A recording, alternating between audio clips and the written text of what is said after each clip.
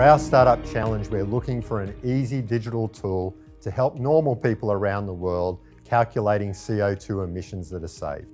At ABB, we support customers in innovative services in medium and low voltage areas. We provide proactive services, modernisation, upgrades and digital services that help industries maximise their performance, uptime and energy efficiency through the life of their electrical equipment. That's why this challenge is aimed at developing a tool that can calculate sustainability related benefits using our ABB solutions. As you know, countries around the world have stepped up their sustainability agendas.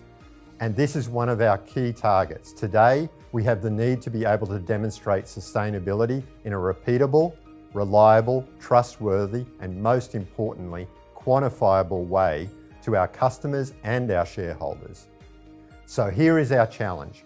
We want you to create an online tool that can calculate, record, display and report sustainability related benefits of using ABB electrification service solutions such as remote services like remote training, remote assistance to drastically reduce the need for travel and the associated CO2 emissions with that.